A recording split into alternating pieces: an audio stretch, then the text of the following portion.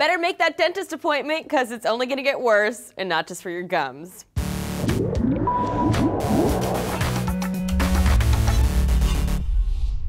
Anticipation of pain can be a major source of anxiety for people who deal with it routinely. It's also probably the reason you haven't been to the dentist in, oh, three years. And a new study sheds light on how dread of pain can be worse than the actual pain itself. We know based on prior research that the fear of pain can produce two responses in people, confrontation and avoidance, although most people probably exhibit some combination of the two. Psychosocial factors are big in shaping how you respond to pain. Experiences you've had with pain in the past will determine how you deal with it.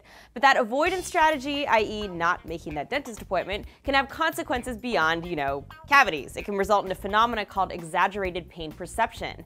But even newer research has shown that when faced with inevitable pain, most people will choose to get it out of the way as quickly as possible and would even accept worse pain quickly rather than having to wait for it. A group of researchers in England measured this by offering people real painful stimuli, electric shocks, along with choices on how to receive it.